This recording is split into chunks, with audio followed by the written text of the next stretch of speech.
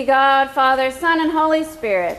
And blessed be his kingdom, now and forever. Amen. Almighty God, to you all hearts are open, all desires known, and from you no secrets are hid. Cleanse the thoughts of our hearts by the inspiration of your Holy Spirit, that we may perfectly love you and worthily magnify your holy name, through Christ our Lord.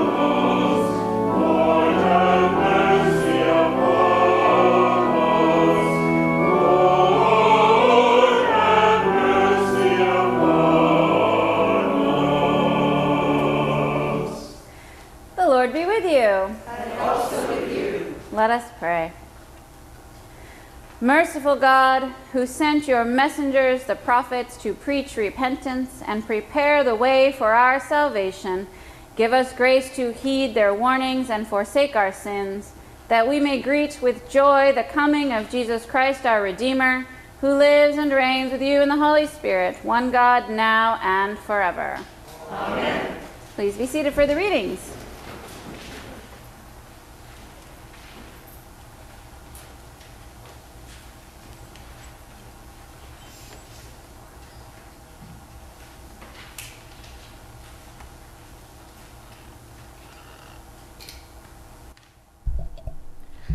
These lines describe no individual, but the ideal king from the line of David. His charismatic gifts will make his kingdom one of justice and peace, standing as a signal that the whole world will share in his salvation. A reading from the book of the prophet Isaiah. A shoot shall come out of the stump of Jesse, and a branch shall grow out of his roots. The Spirit of the Lord shall rest on him, the Spirit of wisdom and understanding the spirit of counsel and might, the spirit of knowledge and the fear of the Lord. His delight shall be in the fear of the Lord. He shall not judge by what his eyes see, or decide by what his ears hear, but with righteousness he shall judge the poor, and decide with equity for the meek of the earth. He shall strike the earth with the rod of his mouth, and with the breath of his lips he shall kill the wicked. Righteousness shall be a belt around his waist, and faithfulness the belt around his loins. The wolf shall live with the lamb, the leopard shall lie down with the kid, the calf and the lion and the fatling together, and a little child shall lead them. The cow and the bear shall graze, their young will lie down together, and the lion shall eat straw like the ox. The nursing child shall play over the hole of the asp, and the weaned child shall put his hand in the adder's den. They will not hurt or destroy on all my holy mountain, for the earth will be full of the knowledge of the Lord as the waters cover the sea. On that day the root of Jesse shall stand as a signal to the peoples. The nations shall inquire of him, and his dwelling shall be glorious. The word of the Lord.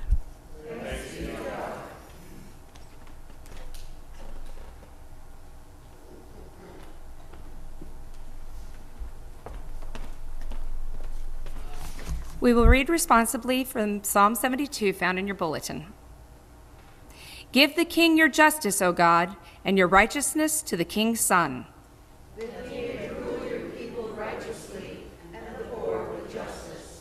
That the mountains may bring prosperity to the people, and the little hills bring righteousness. He shall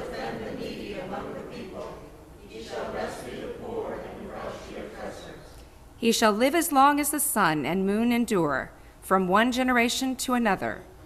He shall come down like rain upon the mown field, like showers that water the earth. In his time shall the righteous flourish. There shall be abundance of peace till the moon shall be no more. Blessed be the Lord God, the God of Israel, who alone does wondrous deeds. And blessed be his glorious name forever. And may all the earth be filled with his glory.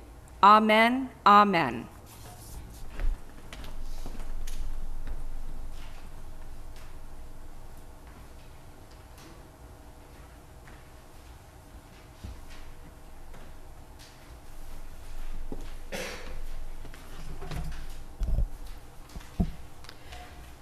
Isaiah's theme of joyful anticipation finds an echo in our second reading as Paul reminds the church in Rome of the age old encouragements of Scripture.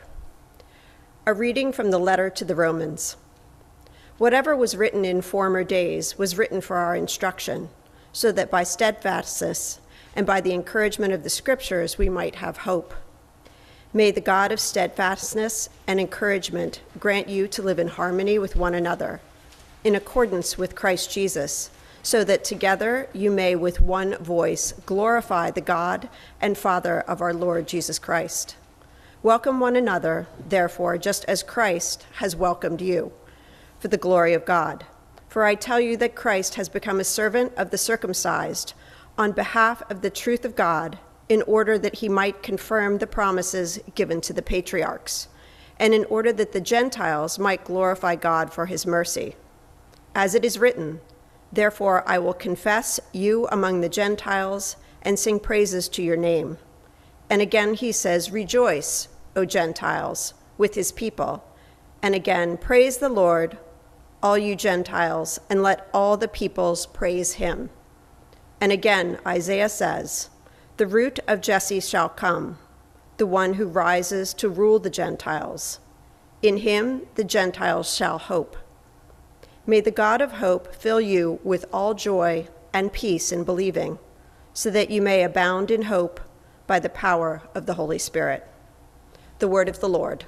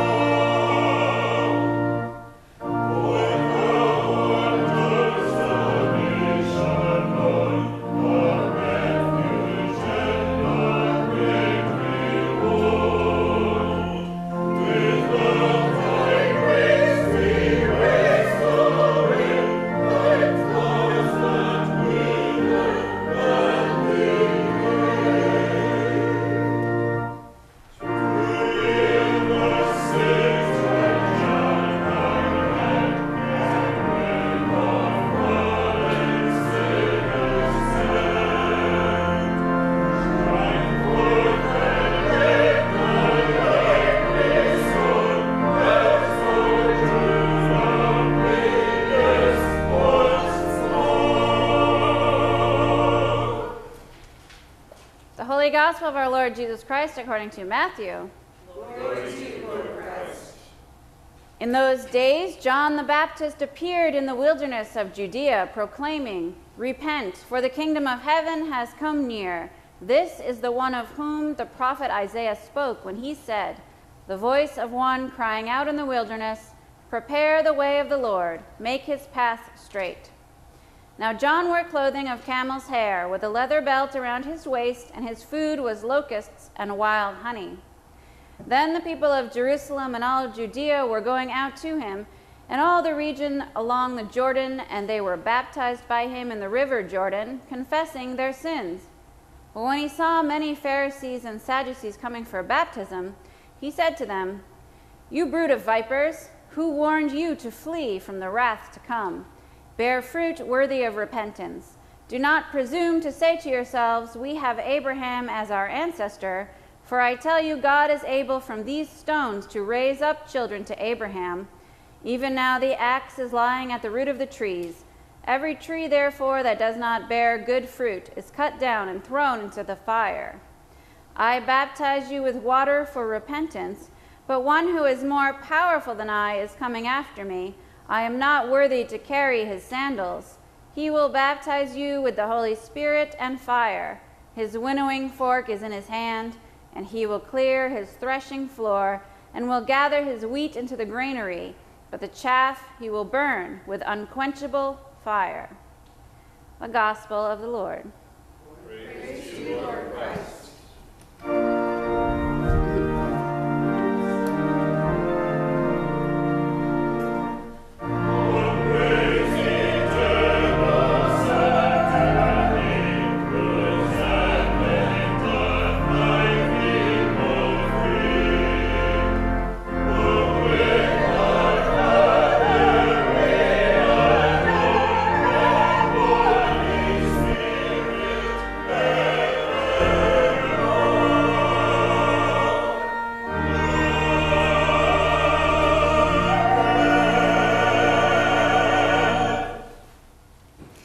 May the words of my mouth and the meditations of all our hearts be acceptable in your sight, O Lord, our strength and our Redeemer. Please be seated. this one I always say, Merry Christmas, you brood of vipers. Just kidding. it's not Christmas yet. Happy Advent, you brood of vipers. John the Baptist, he's a very mysterious fellow, right?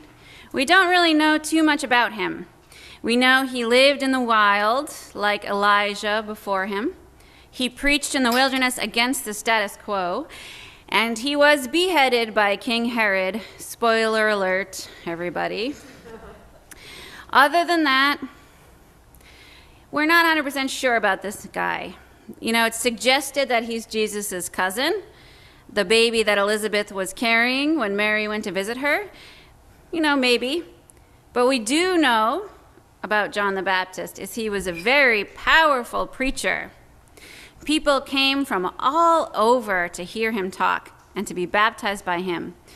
Now, traditionally, uh, back then, Gentiles would need to be baptized in the water and cleansed of sin to convert to Judaism. But most of these people today were already Jewish, so why are they getting baptized? That's a question. Why is John doing this? So here, John is proclaiming the coming of Jesus, the Messiah. And this Messiah brings along with him judgment, which is something that we often kind of gloss over when we talk about Jesus, right? We like prefer the, the guy with the sheep, the little lamb. But he has a winnowing fork, which is like a pitchfork, and he's gonna separate that wheat from the chaff. So John is preparing the people for this coming judgment, and he does it with baptism. And then he says to the Pharisees and the Sadducees, who were the religious leaders of the day, that they are vipers. They claim holiness because they descended from Abraham, but he's saying that isn't really enough. He roars at the people who are comfortable in their rituals the good church folks, right? The ones who will go through the motions but have forgotten the wonder, the mystery, and the awe of God. Like Martin Luther said, good works do not make a man good, but a good man does good works. John sees this in the people, and so he orders them to repent. So when we say repentance, we think of Lent, right? Lent is that season of guilt and sin, right? Where we're supposed to have ashes and stuff. Not really. We're going to get to Lent eventually. So, why are we talking about repentance here when we're trying to get to the joy of Christmas? It's hard for me to talk about repentance without sounding like I'm scolding you, right? I'm not. repentance doesn't mean what we think it means now. In the Bible, when they talk about repenting, it isn't about just guilt of a wrongdoing and saying, I'm sorry. That's part of it. Repentance is about turning. The Hebrew root of the word is to turn.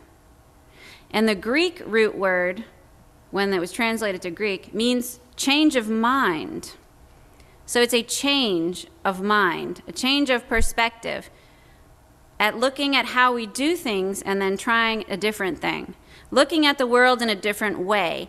It's not all about guilt and sin, it can be, but repentance can also be joyful, if challenging as well. God's righteousness is always present in the world, and it yearns to be revealed to us, but often it takes a change in ourselves in order to see it. Every week before we do the Eucharist, we have a confession that we say. If you really want to confess something big, you can come and confess privately. We do do that here. but this communal confession, we say we are truly sorry and we humbly repent. Does this mean that every week we did something incredibly terrible that we have to be sorry about? It's not necessarily true. When I was a teenager, I would read the things done and left undone, and the first thing that my head was homework. I apologize for not doing my homework. That was all I could think of things done and left undone. But that's not what this is for. If we truly want to repent, it's about taking a look at our lives and taking a look at the world around us and thinking about how we can do something new and something good. Are our lives, as we live them now, aligned with God's intent? Right? Intent for us and intent for the world. David Lose says that repentance also underscores that change isn't necessary for change's sake, but rather that change is necessary because we've become aware that our actions are out of step with God's desire for peace and equity for all people and the whole creation. Repentance, in short, is realizing that God is pointing you one way and you've been traveling another way and changing your course. So, this doesn't mean you've done anything bad, right? Just means that we've kind of lost the course.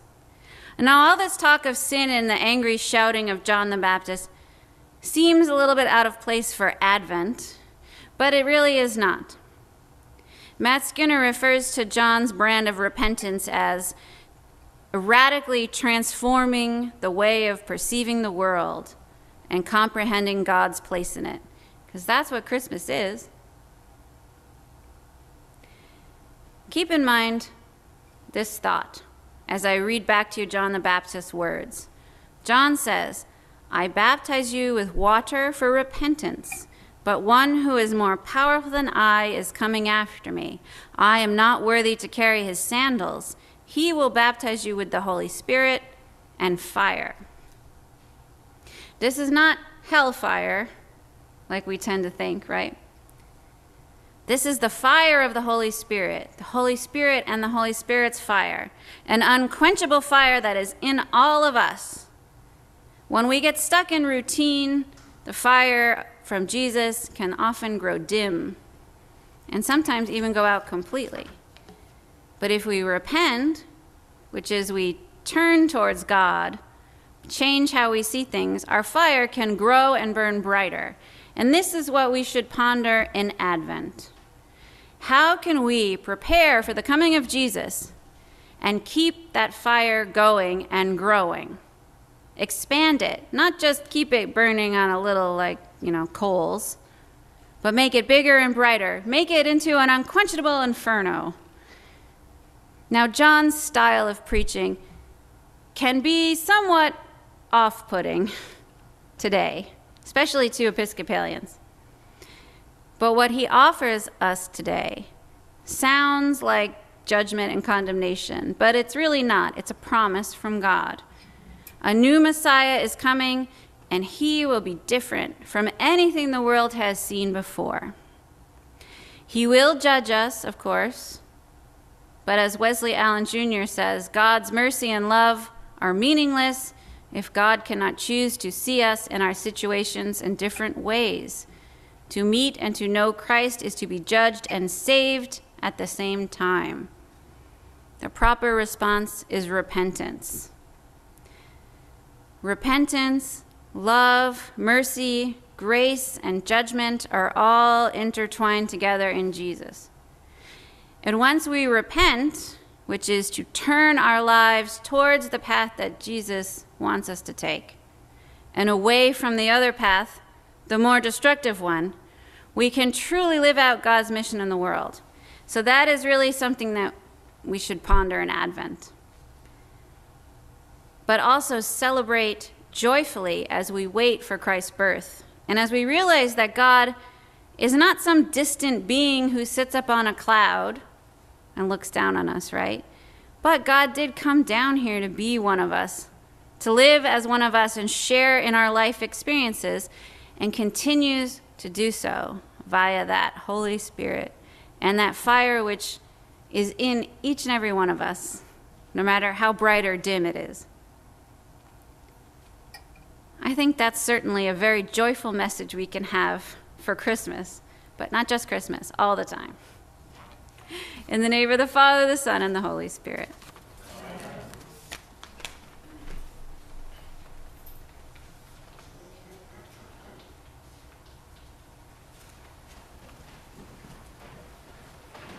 Please join me in saying the Nicene Creed. We believe in one God.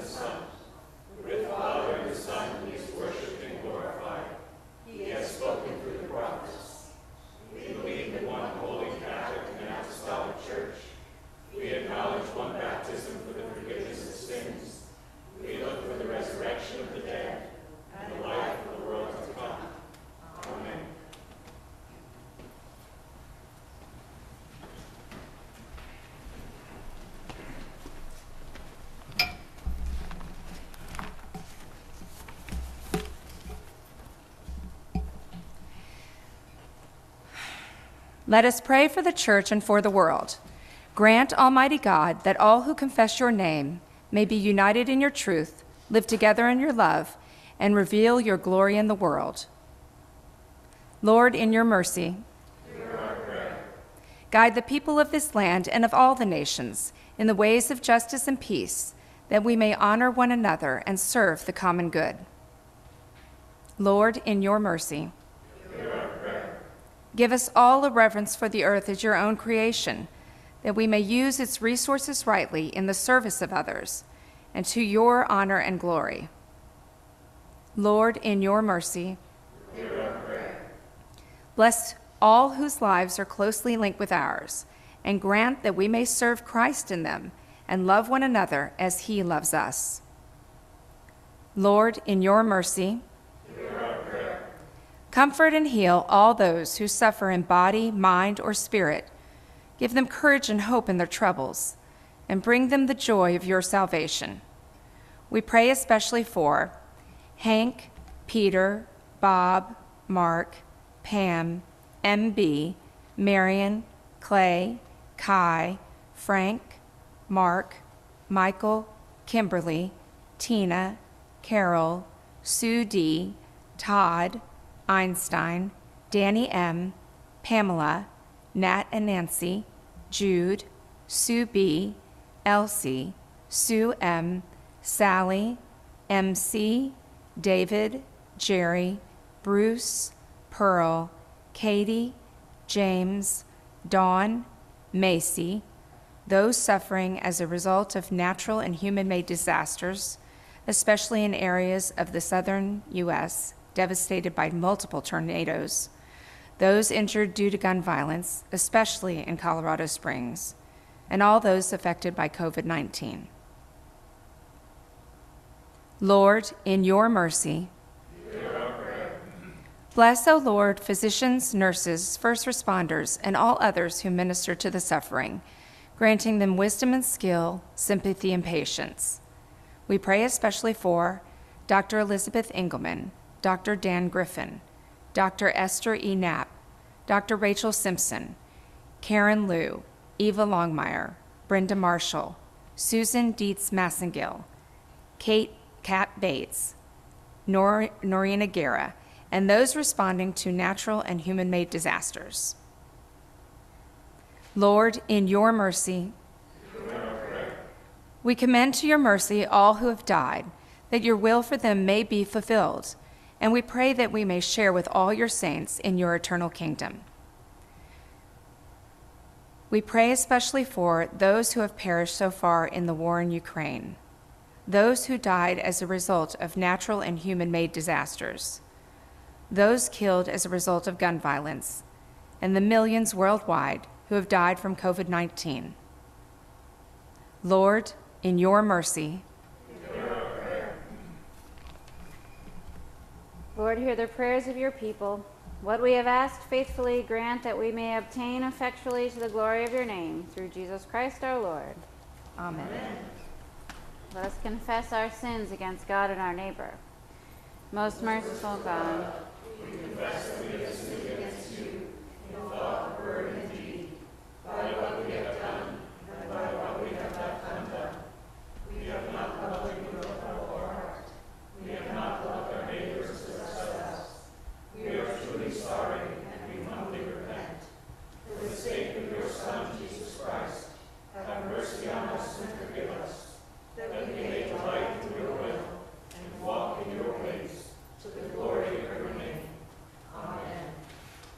Almighty God, have mercy on you, forgive you all your sins through our Lord Jesus Christ, strengthen you in all goodness, and by the power of the Holy Spirit, keep you in eternal life.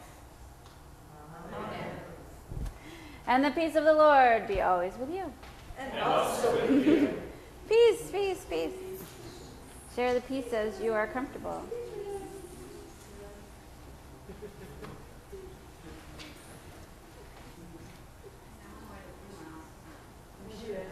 I can't. Uh, I might get in trouble. Without a cause. Hi, everybody. Hi. Hi, Dr. Nick. Okay. Um, don't forget to come to coffee hour because it's awesome. But also, the kids are practicing for the Christmas pageant, which is going to be super awesome, and you get to see a preview of what the stage looks like if you want. Um, today is the last day of our Adopt a Family gift card donations. So, for family 109, which is a mother and uh, her two daughters and uncle, and their uncle. Um, so, yeah, and if you are don't have it today, you can ask Rhonda. I'm sure she can make a. Well, I won't speak for Rhonda. So ask Rhonda about that. so the coming up, since it's almost Christmas, it's still Advent, but it's almost Christmas. We will be having our Miracle of Christmas Orchestra. Yay!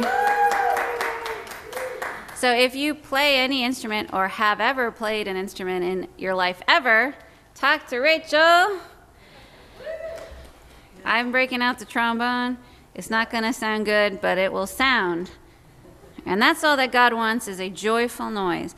So uh, we're going to do that for Christmas Eve at 5. The midnight mass, so-called, is going to be at 10, not 10.30. 10 o'clock, slightly earlier for everyone, so you can go to bed earlier. and on Christmas Day, we are having just one service at 10, which is a Sunday. So it's a Sunday with just one service at 10, but no music. But still come if you want. I'll be here. So I won't be alone. um, on the 17th, in two weeks, we're having a caroling and potluck dinner party. Yay! It's going to be so fun. And if you're interested in caroling ahead of time, traveling to carol around, uh, talk to Rachel again. Hi, Rachel. If you have questions about the food or setting up or cleaning up, talk to Sue, who's back there. Hi, Sue. Sue Maskill, thank you so much.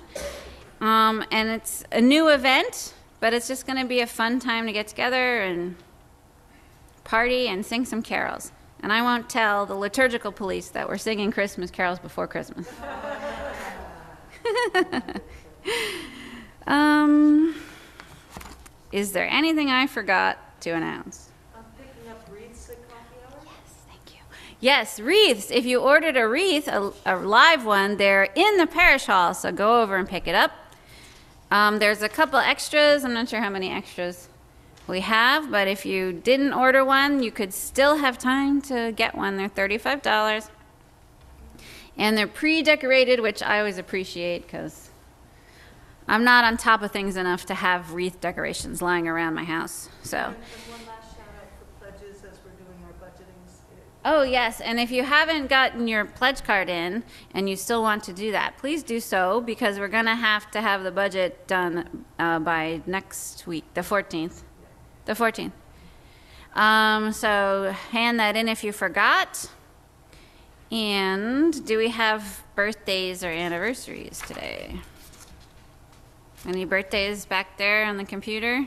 I got the no symbol. No anniversaries. All right. Yes. We, I just thank everybody that came yesterday, put up the advent decorations. It was the fastest, smoothest time we've ever had. We got it done in record time because there were so many helpers. So thank you to everybody that came. It was a big role for Okay.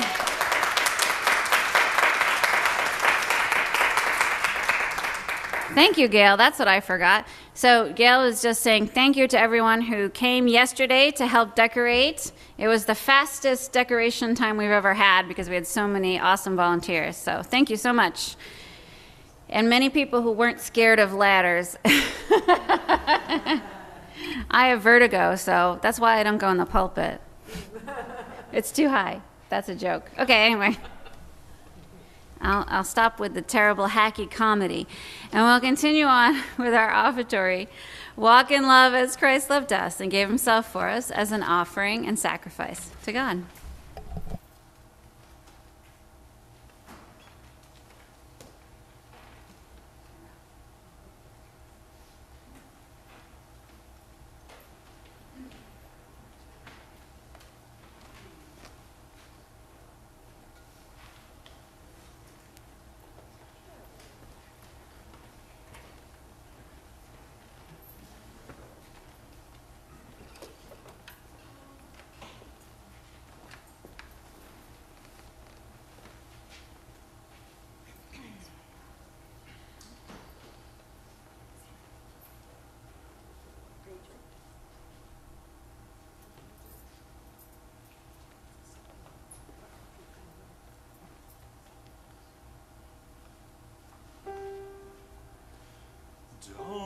yon forest there stands, oh, the bells of paradise, I heard them ring.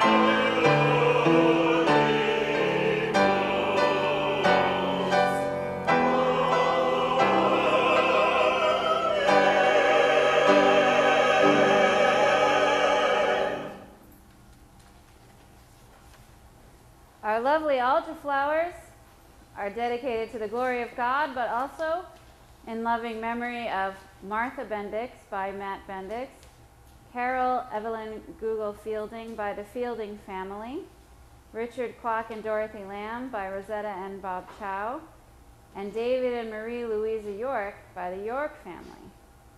We are very blessed with lots of love today in our flowers. Thank you. The Lord be with you. And also with you. Lift up your hearts. We lift them to the Lord. Let us give thanks to the Lord our God. It is right to give thanks and praise. It is truly right to glorify you, Father, and to give you thanks, for you alone are God, living and true, dwelling in light and accessible from before time and forever.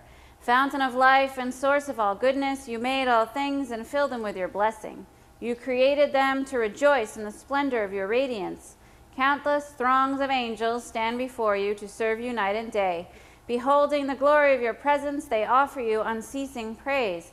Joining with them and giving voice to every creature under heaven, we acclaim you and glorify your name as we sing.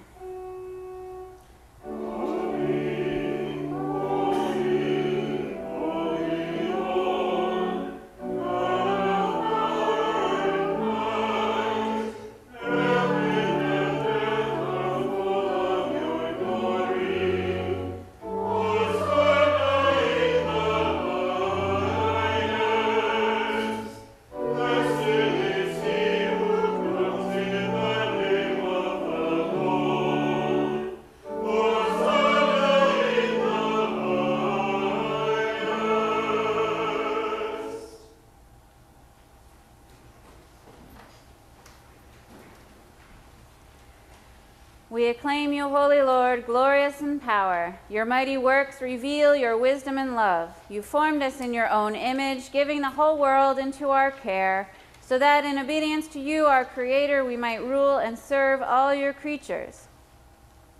When our disobedience took us far from you, you did not abandon us to the power of death. In your mercy, you came to our help, so that in seeking you, we might find you.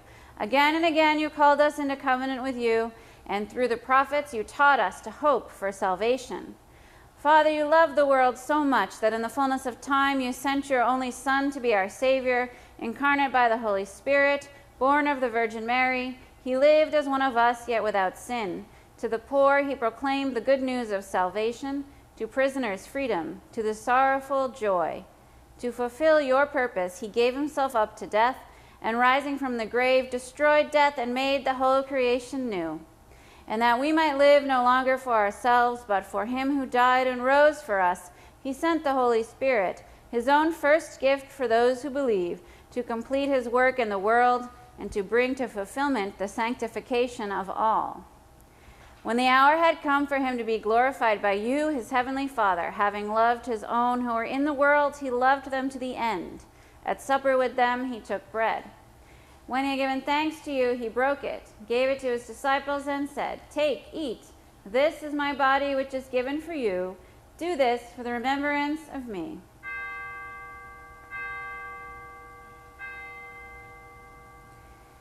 After supper, he took the cup of wine. When he had given thanks, he gave it to them and said, Drink this, all of you.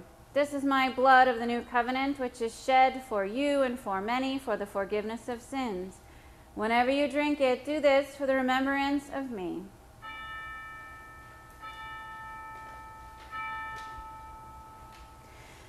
Father, we now celebrate this memorial of our redemption, recalling Christ's death and his descent among the dead, proclaiming his resurrection and ascension to your right hand, awaiting his coming in glory, and offering to you from the gifts you have given us this bread and this cup.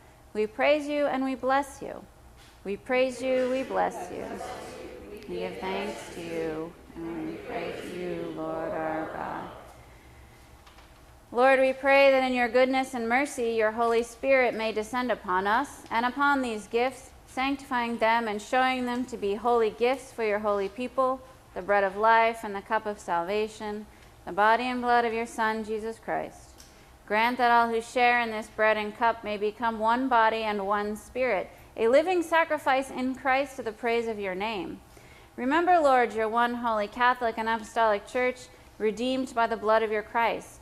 Reveal its unity, guard its faith, and preserve it in peace. And grant that we may find our inheritance with the ever blessed Virgin Mary, Saint Stephen, and all the saints who have found favor with you in ages past.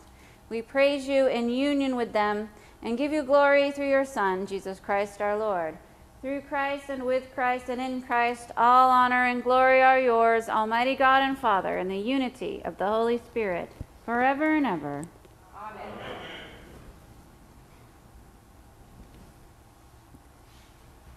Now, as our Savior Christ has taught us, we are bold to say, Our Father, who art in heaven,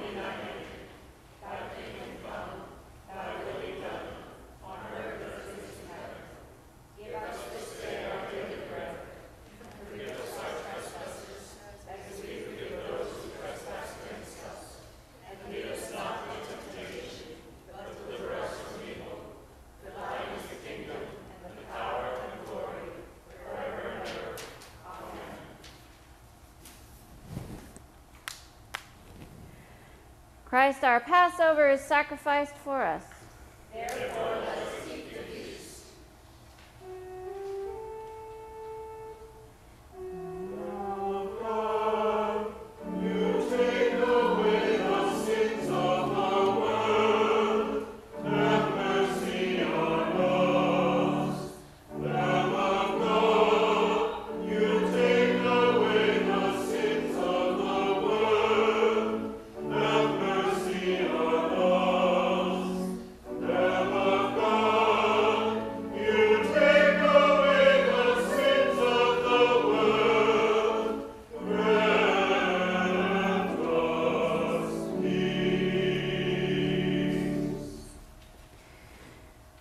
of God for the people of God. Take them in remembrance that Christ died for us, and feed on him in your hearts by faith with thanksgiving.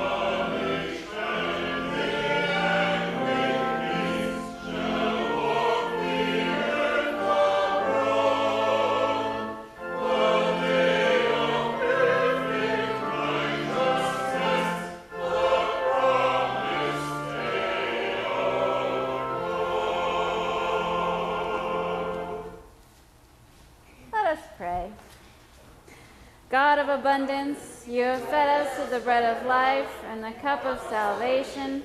You have united us with Christ and one another. You have made us one with all your people in heaven and earth. Now send us forth in the power of your Spirit, that we may proclaim your redeeming love to the world and continue forever in the risen life of Christ our Savior. Amen. And the blessing of God Almighty, the Father, the Son, and the Holy Spirit be upon you this day and remain with you always. Go